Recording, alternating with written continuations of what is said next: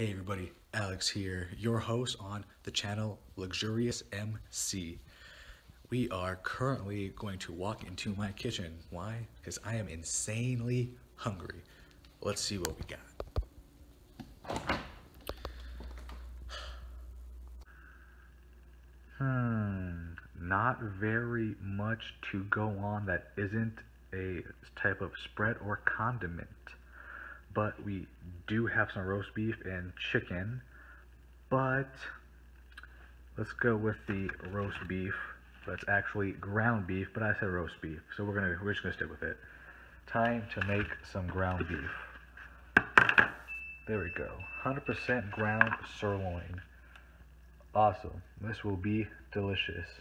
Now hold on a moment while I go, well, cut this open and get this ready. Now that we got this open, already kind of got a little piece of the meat. We're gonna put it on here, my measuring scale to measure it. Why? Because I'm kind of, I'm slightly a fitness nut. It's about 82 grams. Granted, it's a little bit frozen, so let's take half for some water. And most likely, it's probably more around like 70 grams how frozen it is. So we're gonna take this piece, good to go. set it right back over here. grab another piece see if I can do this on camera. Got this thing in my hand. Not the easiest. Eh, it's a good chunk. Put it right there. 28. Yeah, this should be enough. We'll use these two pieces together. We're going to cook it on this. It's going to be great. Let's do it. Get that fireness going. Actually, I'm to keep it on high for a little bit. Why? Because I want this to heat up fast and no other reason besides that. So, uh, while we wait, I am going to grab some seasonings out of here. This isn't exactly a cooking channel, so I don't think health is that. I think health is top priority when it comes to sanitization at the moment. I'll just wipe down all the surfaces. Got that garlic salt that we're going to use on this once I get it in that exactly how it's gonna go. It'll be great. Can't wait. Come back. Huh, let's see here. So while I go get this heated up, I will get the plates. One second. Alrighty, here is our plate.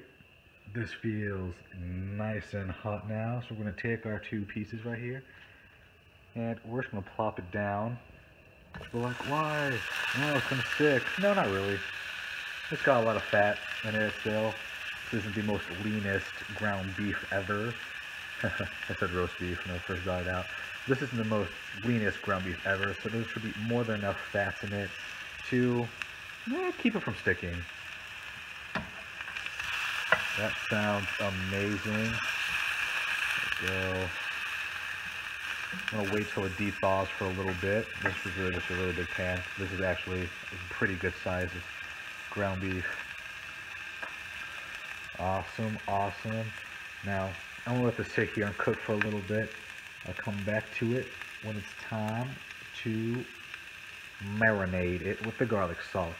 Be right back, y'all. Okay, so here is our ground beef. I actually did go back and add some more of it and put away what was left and wash my hands. So now what we're going to do is we're going to take this garlic salt right here. I'm just going to open the top like that. Try not to do that. There we go. All quite what we're going to do is coat it in this. A lot of people are like, damn, it's a lot of garlic salt. Yeah, you're probably right. But I do like the taste of it, so I do not mind. Move it around a little bit. That sounds extraordinary and smells great. I love it. Now for those of you who do watch this video, I do apologize. This is my first YouTube video ever. So for those lucky, probably one to three people who actually do get to see this, or if that, you have the privilege of seeing my first video ever. So, it's a cooking video. Luxurious MC cooking video. Hell yeah. this YouTube channel is really just made to basically be just a vlog of mine. Why? I have nothing to do. I have six months before my college schooling starts, and I am bored beyond belief. So, I decided to make a YouTube channel that was more so just me vlogging stuff than, well, anything else, to be honest.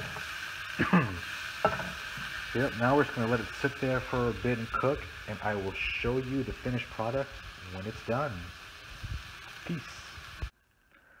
As you can see here, I plated the ground beef and took it back to my room. Why? Because there's a lot of action going on in the kitchen right now with fun other people, and I didn't want the video to get, well, I didn't want you to not hear me. So, took it back to my room. Yes, it's a little brown, it's supposed to be like that, and I may have overcooked, overcooked it just slightly, but I put some sriracha sauce on it.